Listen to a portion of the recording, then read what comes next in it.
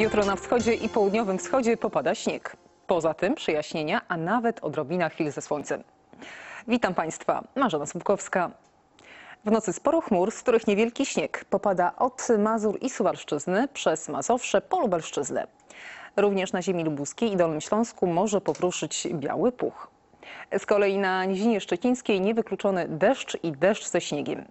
Na Pomorzu, zachodzie oraz na północnym wschodzie utrzymywać się będą mgły ograniczające widzialność nawet poniżej 100 metrów, osadzające szać. Na drogach będzie ślisko.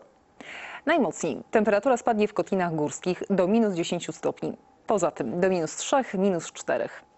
Jutro początkowo mgły mogą utrzymywać się jeszcze na Pomorzu Zachodnim i ziemi lubuskiej. Śnieg spadnie miejscami na południowym zachodzie oraz od Mazur i Podlasia po Tatry i Bieszczady.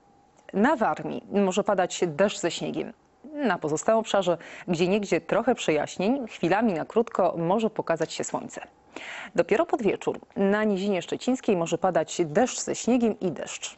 Na zachodzie dość ciepło, do 2 stopni, w centrum około zera, słaby mróz wzdłuż granicy wschodniej, a w górach mroźno, do minus 10 stopni.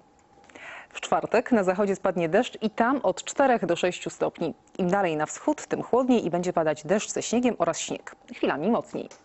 Lokalnie spodziewamy się także marznącego deszczu. W piątek cieplej. Na zachodzie deszczowo, poza tym deszcz ze śniegiem i śnieg.